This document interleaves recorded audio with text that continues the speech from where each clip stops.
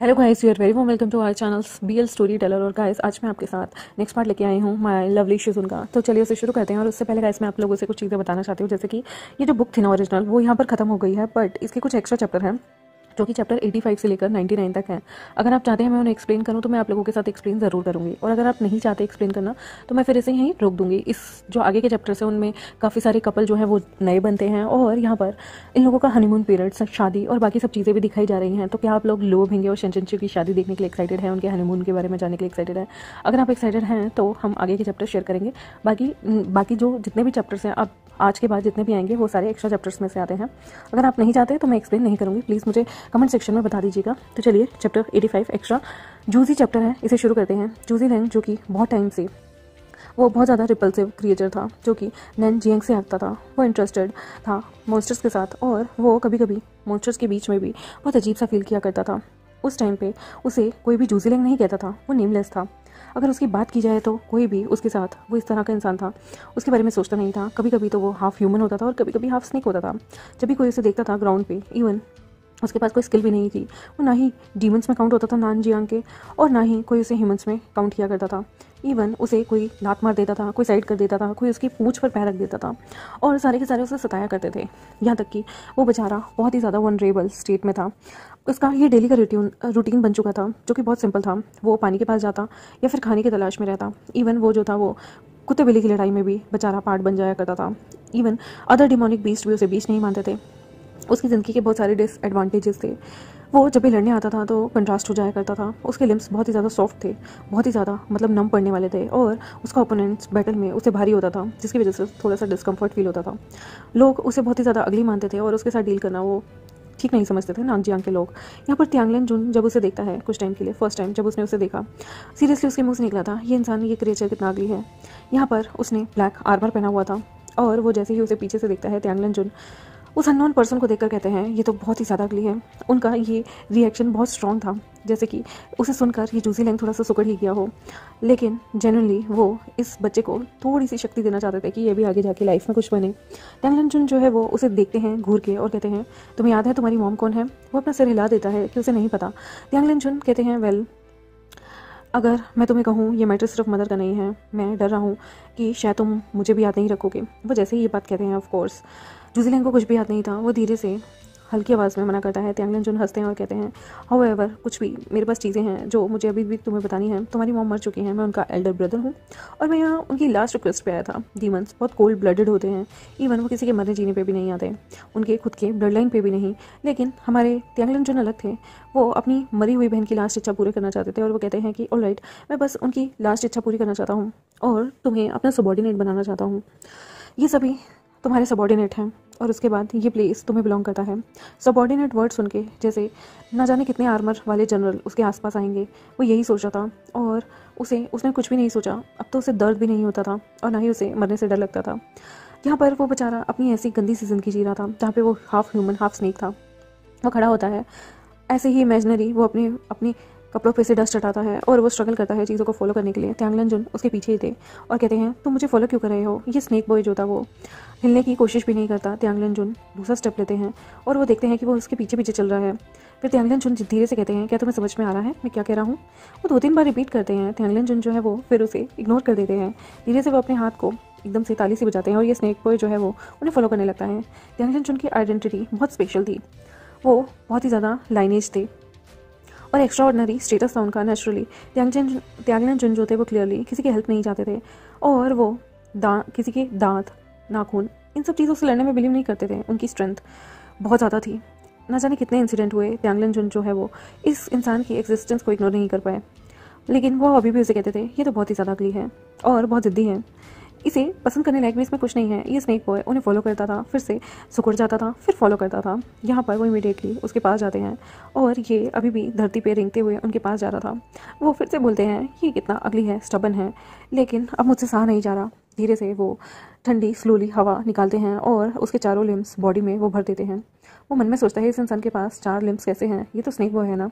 जो कि ऑलरेडी उसके लिम्स डिफॉर्म हो चुके हैं और यहाँ पर उसके लिम्स यानी कि हाथ पैर अलग अलग तरीके के हैं। यहाँ पर उसको न्यू पाम्स मिल जाती हैं। वो एक, उसे एक ऐसी वो डिमोनिक शक्ति देते हैं जिसकी वजह से ये एक यंग मैन बन जाता है जो कि पंद्रह सोलह साल का होगा। उसका फेयर कॉम्प्लेक्शन था स्लेंडर बॉडी थी हेल्थ कंप्लीट थी और त्यांगलिन जुन जो है वो धीरे से अपने हाथ को हिलाते हैं। इस इंसान की आँखें जेड ब्लैक थी। त्यांगलेन जुन कहते हैं आई थिंक अब तुम अच्छे दिख रहे हो। या तुम्हें इस लुक से कोई ऑब्जेक्शन है? इंसान अपना मुँह खोलता है और कुछ बोलना चाहता है, लेकिन उसके लिए ईजी नहीं था ह्यूमन फॉर्म में आना। अपनी टंग को बाहर निकाल के इस तरह से इजीली किसी के सामने कुछ बोलना, वो धीरे से ओबे करता है। ये अब धीरे धीरे उसे बोलना भी सीखना था। यहाँ पर धीरे धीरे एक वार्म लिक्विड जो था वो उसकी आँखों से निकलता है। जूजी लैंग जो है वो बिलीव करता था जुन शेंग में, कि वो हमेशा राइट होंगे। और वो सीक्रेटली जुन शेंग यानी कि हमारे त्यांगलन जुन को फॉलो करता था।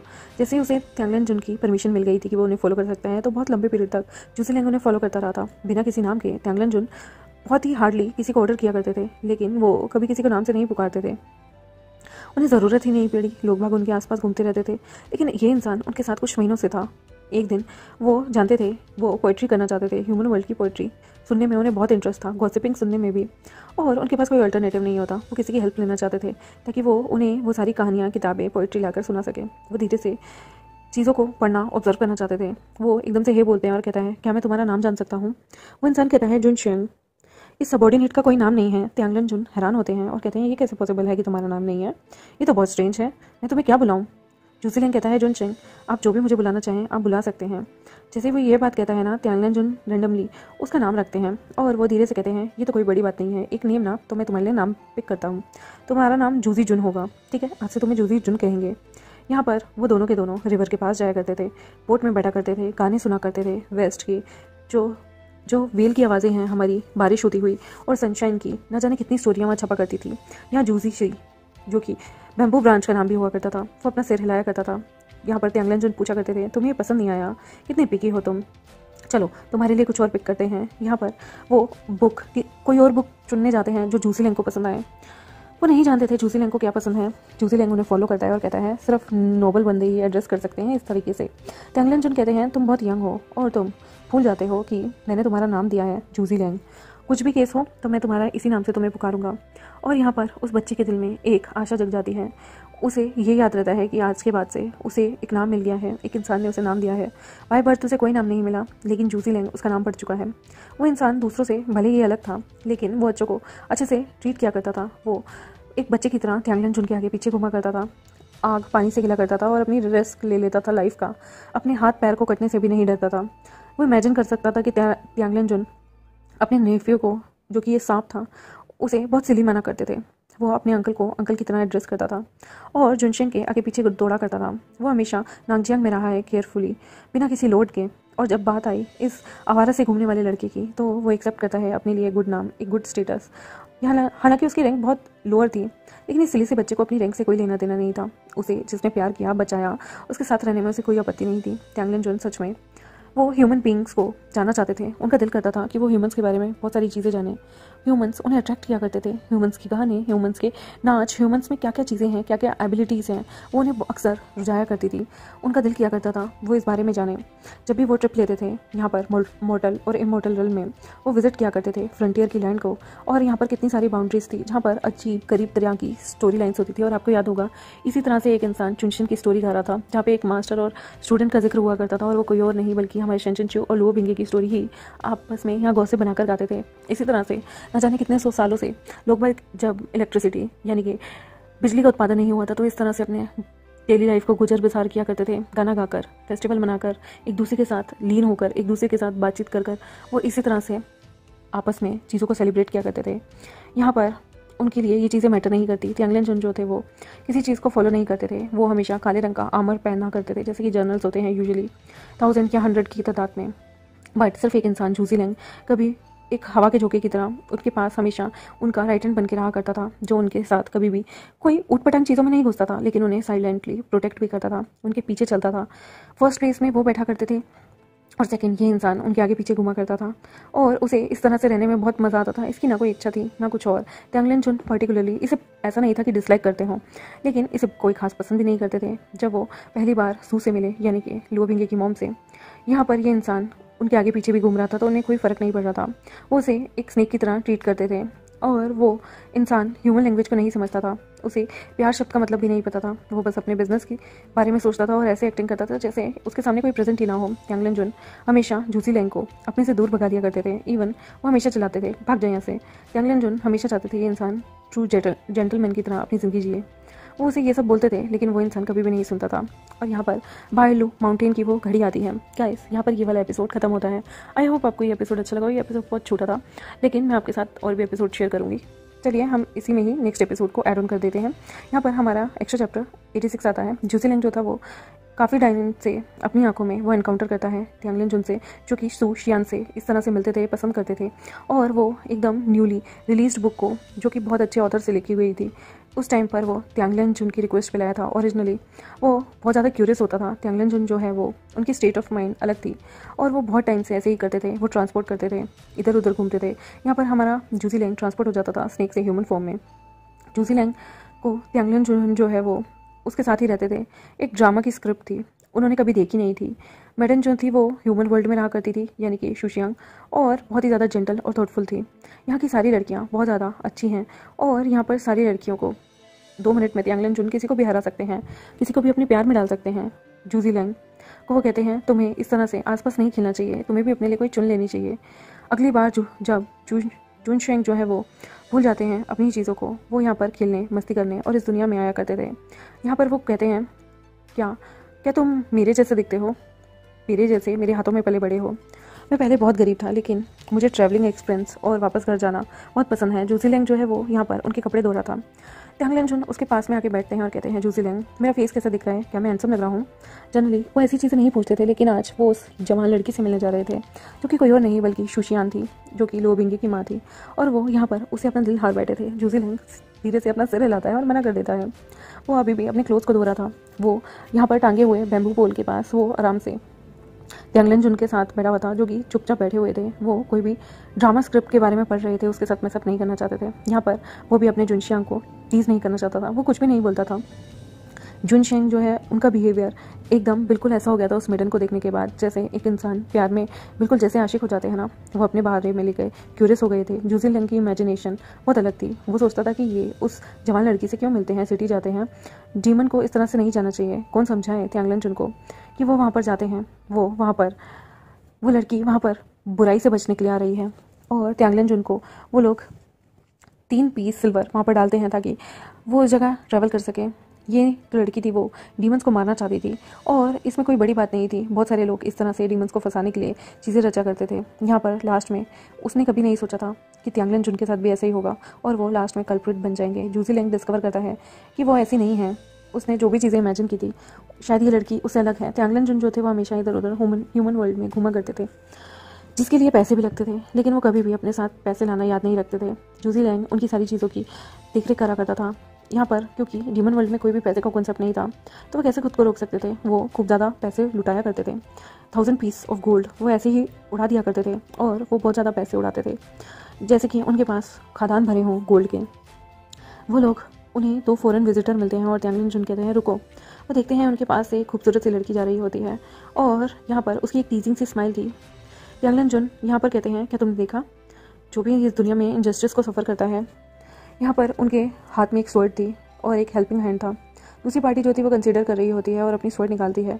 लेकिन उन्हें लास्ट में स्ट्रिंग उनकी हट जाती है और मनी पाउच गिर जाता है। वो उसे रिटर्न करते हैं, जिसमें तीन टाइल जो थी वो सोने की थी सॉरी चांदी की थी। और वो कहते हैं, ये बहुत ज़्यादा एक्सपेंसिव है, मैं तुम्हें अगली बार लौटा दूँगा। टंगलन जुन कहते हैं, क्या तुम ये तीन टाइल सिल्वर को? ओके ओके, कोई बात नहीं, मैं तुम्हें और तीन दे दूँगा। अगर तुम ये तीन टाइल सिल्वर की बजाय मुझे तीन दिन के लिए खरीद लो तो यहाँ पर वो मुस्कुराते हैं, वो लड़की भी सिर उठाती है और उसका, उसकी बॉडी अलग थी, वो यहाँ पर मुस्कुराते हुए कहती है, तुम्हें खरीदने का क्या ही मकसद? यहाँ पर वो उस लड़की को देखते हैं जूजी लैंग फ्रेंकली जूजी शंग ये लेडी प्रोबेबली बहुत एक्सपेंसिव है। ऐसे बोल देता है। त्यांगलन जुन यहाँ पर हैरान हो जाते हैं कि पहली बार जूसी लैंग ने कुछ कमेंट किया है। त्यांगलन जुन कहते हैं, इस बारे में हम बात नहीं करते।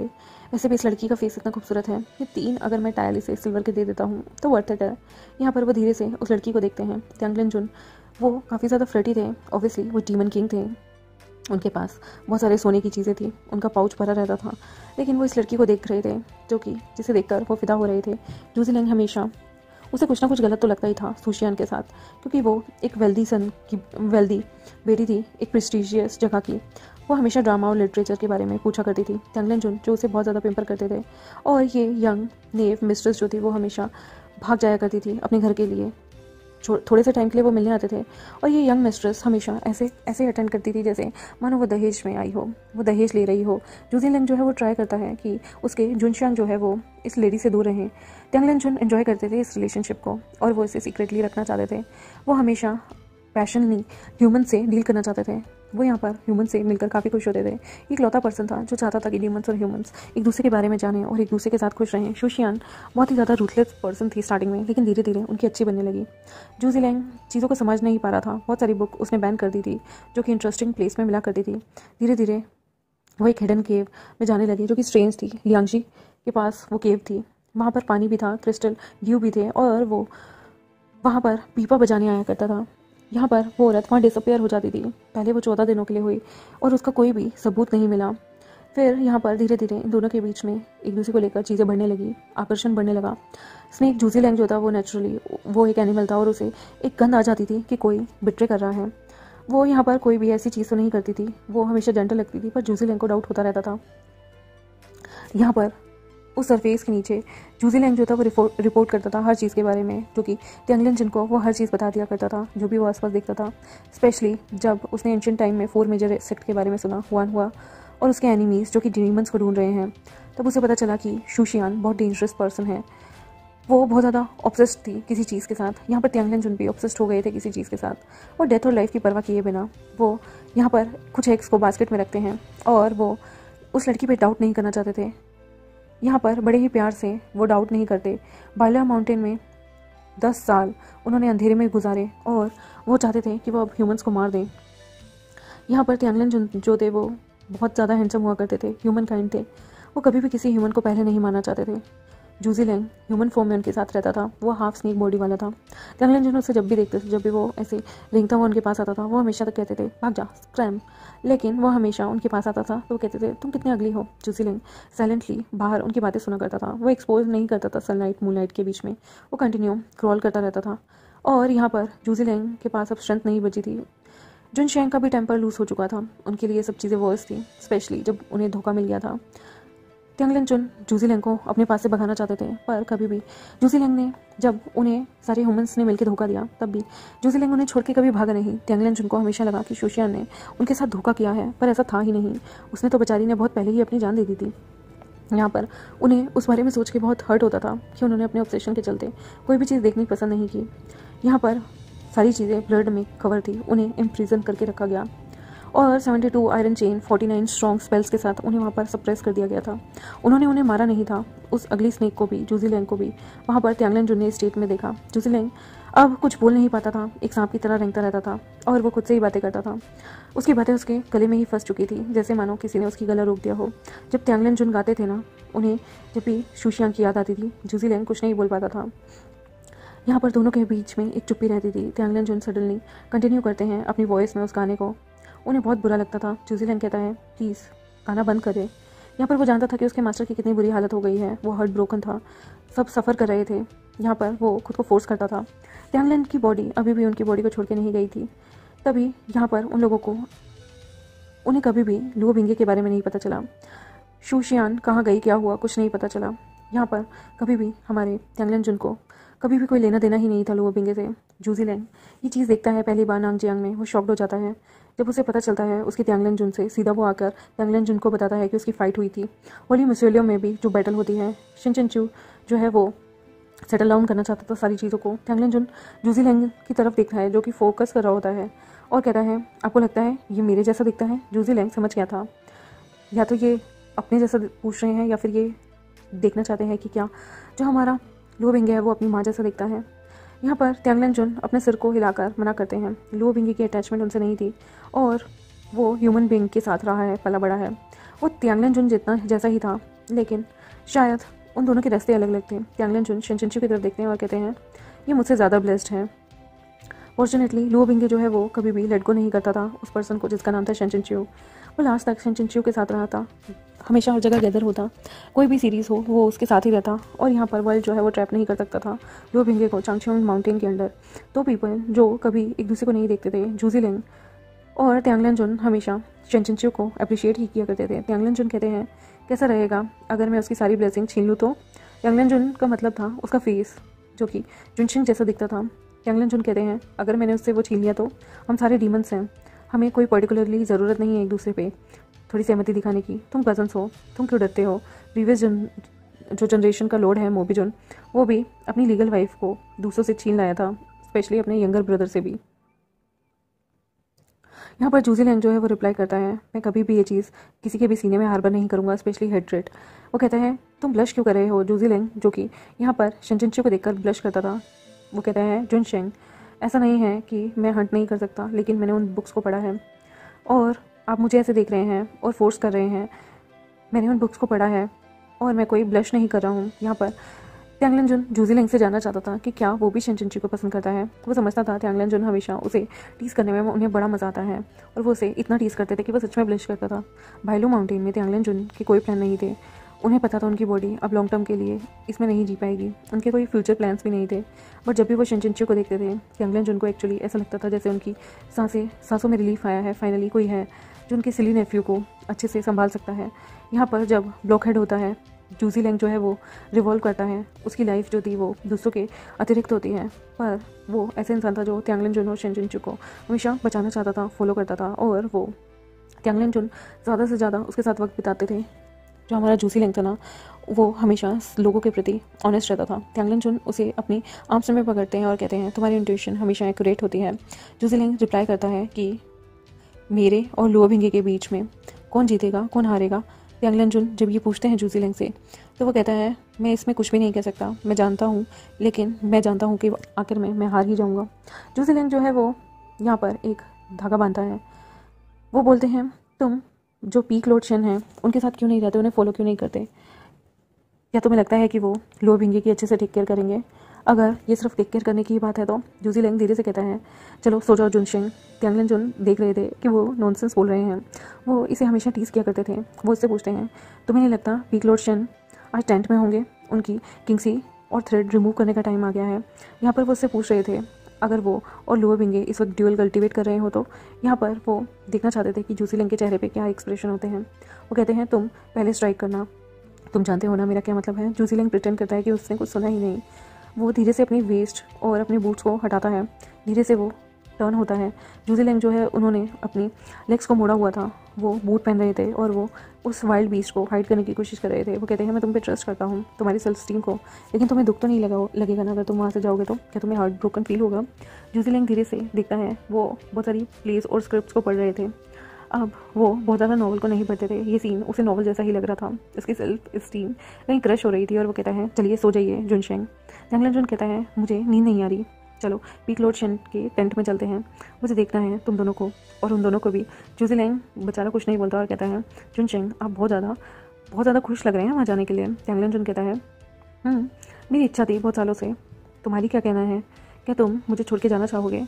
आज जुन शेंग थोड़े ड्रंक थे वो जूजी लैंग के लिए उसके फ्यूचर के लिए कामना कर रहे थे और जूजी लैंग यहाँ पर अपना सर हिलाकर मना कर देता है कि वो कभी उन्हें छोड़ के नहीं जाएगा। वो भर भर कहता है आप सो जाइए।